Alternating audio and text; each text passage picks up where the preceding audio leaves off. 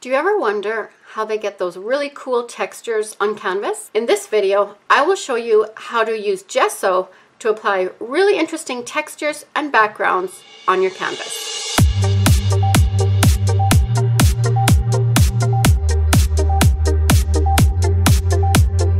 First, you will need some gesso. I am going to be using this gesso here. Uh, if you aren't familiar or, with gesso or if you are at all confused by it, please check out my gesso tutorial video. That will help you better understand some of the things I'm going to discuss in this video. There's different types of gesso, so you might want to learn about that, and I just go over lots of things about gesso. There's clear, there's black, there's heavy, there's whatever.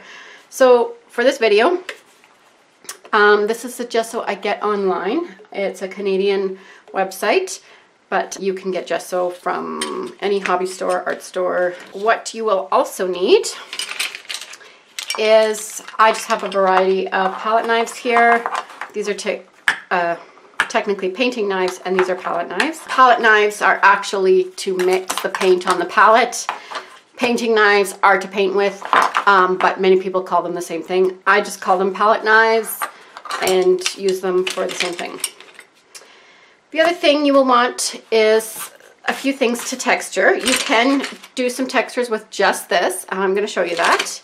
But you may want to use some other kinds of texture materials that will give you some interesting shapes and stuff. So I have just a few things. I always have a roll of drywall tape.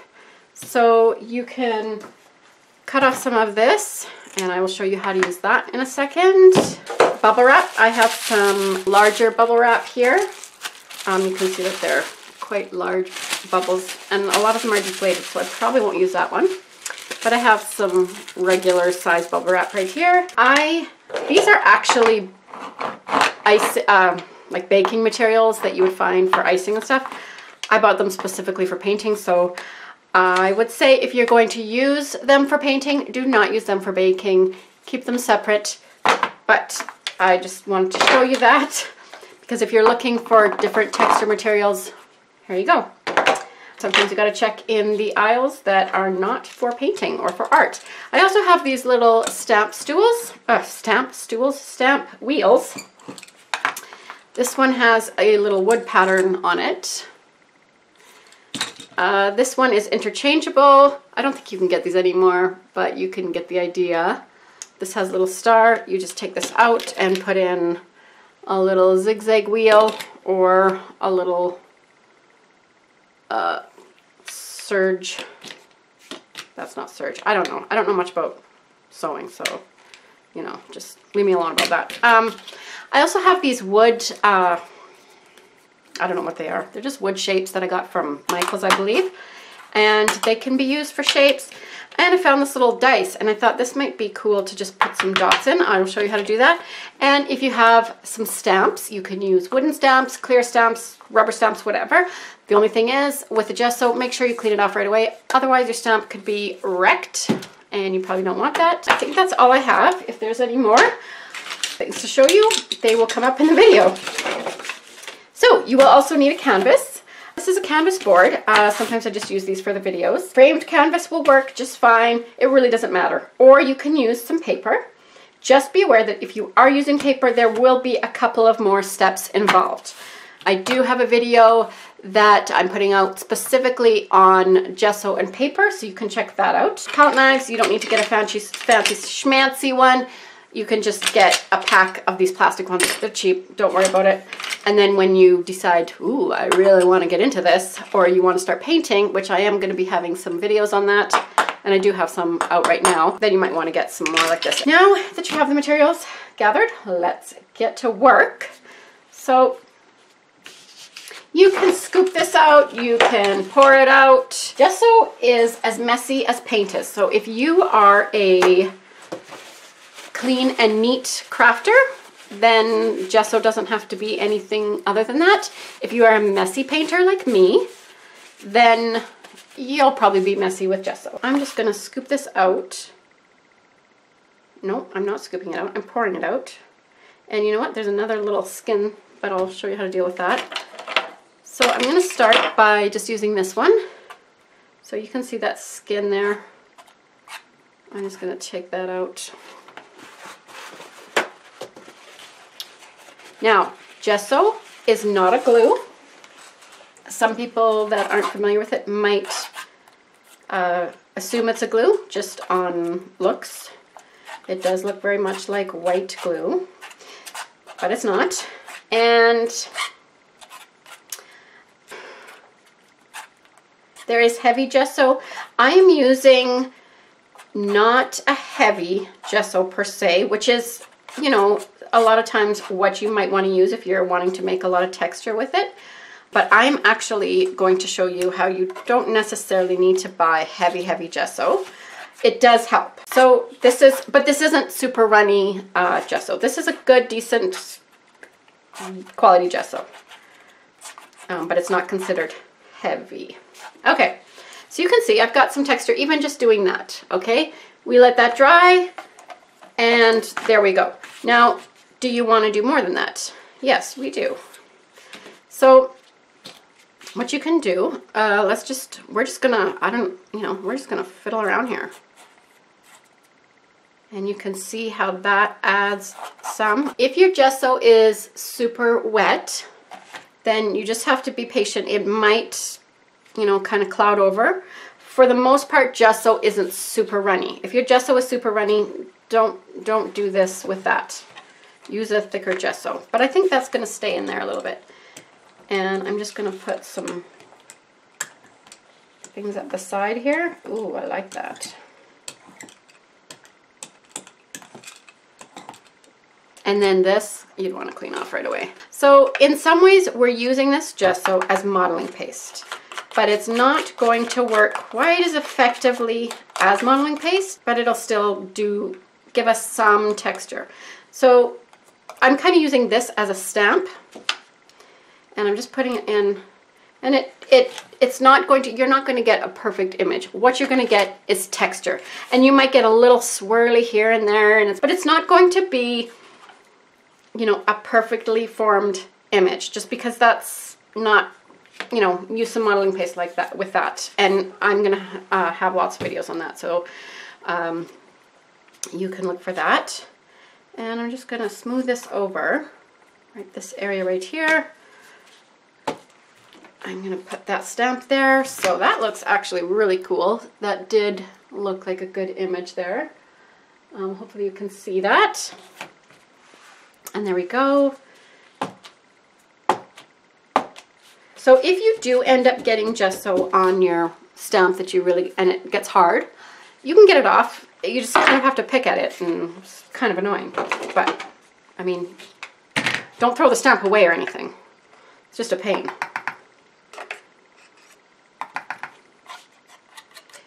So I'm just going to make sure that I've covered all of this.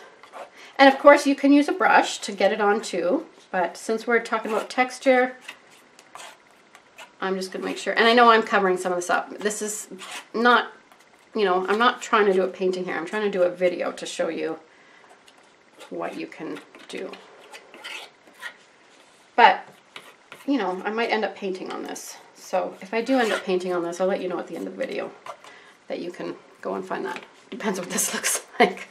See what my, my, um, my drywall stuff is still there. Oh, that's amazing, actually. I don't know if you can see that, but that looks like the best thing ever. See, there we go. But I didn't, I was too lazy to put this on the wheel, so that's why that happened. I'm just telling you so that you don't, you know, get mad at me some people get get really annoyed with me getting things on my hands in the video. Like they really just do not like it. They're really, I don't know. And I'm just like, well, what do you care? If you don't want to get stuff in your hands when you're doing it yourself, then don't get stuff in your hands. But what do you care if I do? I don't know. Like, I love this. I just don't want to do anything else. All right, so that gives you an idea of what it can look like. And I still have the drywall um, pattern in there. So I really like this combination here. I'm going to do this and I'm I am going to paint on it, I think, because I think this, this background will uh, be a really cool background. I think I'm just to do some easy flowers on there, just a quick study. Sorry, I'm all over the place. I know some of you do not like that. And I, and I did plan out this video. I scripted it and everything. But as an artist, sometimes you just, things come to you, okay? I'm not a corporate business person running a corporate meeting right now. I am an artist doing some art. So things are going to come to me. I'm a creative person. I go in this direction, then all of a sudden I go in this direction, and that's just the way it is. And so some of you people that really like things to be exact and specific and planned out might not, you know, get that all the time because I all of a sudden got some awesome idea I want to try, and you'll just kind of have to deal with it. I don't know what else to say. I'll try not to talk too fast. I will do that though, because some people say that I talk too fast. And that can, if you can't understand what I'm saying, then that's not okay. So that is something I agree has to be changed. And I will try to be, you know, I'll do my best, but sometimes I'm just going to go in all sorts of directions. I really wanted to see if this dice thing would work out, and it really doesn't do much, so I'm kind of disappointed about that. I mean, it puts texture in there, but you can't tell that it's a dice, so screw that. This has designs in it, but it doesn't have like crazy texture. So I don't want to completely mess up my background. So just take your knife and just, now the other thing you can do is mix it with some color. And you can even mix the gel, the jello, the gesso with the paint right on it. And I really like doing that because it just gives it a kind of more, like not so blended, not so perfect. And now I've messed up my background, but that's okay. I can always put it back in. I just want to show you different things. So you can maybe see a few different colors there. Oh, see, look at how that, like that just looks so cool when it's not perfectly blended and it's just kind of comes in and out and it's just a little bit streaky. So that's good. I'm going to leave it alone because I could go forever here. And I'm going to come back and I'll show you more how this looks when it's dry. Okay, so you can see some of this texture.